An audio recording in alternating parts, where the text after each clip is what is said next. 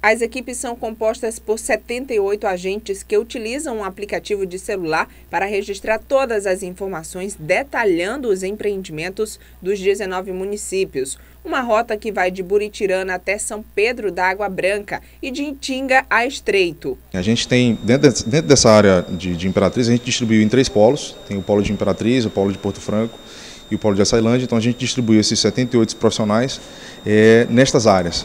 O recenseador então está trajado da forma como vocês estão observando, né, vai com equipamento, vai com, com, com, com um crachá, e aí a visita vai ser no próprio estabelecimento. Pode acontecer de a, de a entrevista é, acontecer na residência do, é, do dono do estabelecimento, mas a princípio é, o, o, o, regular da situação vai ser a entrevista acontecer lá é, no próprio estabelecimento. Hoje, no Maranhão, são mais de 278 mil propriedades a serem vistoriadas. Em Imperatriz, pouco mais de 12 mil estabelecimentos. O IBGE leva em consideração os dados agropecuários, florestais e apícolas. Nos estabelecimentos serão observadas a área do local, uso da terra, produção, cultivo de milho, arroz, entre outras culturas.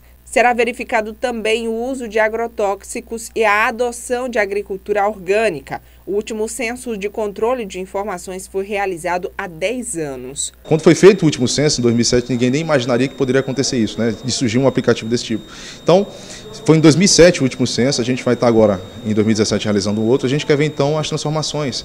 Né? A gente vai verificar essa questão do uso de tecnologia né, nos estabelecimentos, o que, que mudou a gente sabe que, desde, é, desde, sempre, a gente sabe que os grandes estabelecimentos é que têm mais poderio é, tecnológico. A gente quer saber se os, os médios produtores e os, e os, pequenos produtores também estão, em que velocidade conseguiram ter acesso né, a esse tipo de tecnologia. Então, é muito importante a gente estar atualizando esse dado agora, né, justamente para verificar, comparar essa diferença, o que, que aconteceu de 2007 para cá. O levantamento segue até fevereiro de 2018, podendo se estender até março. Os primeiros resultados começam a ser divulgados em junho do próximo ano.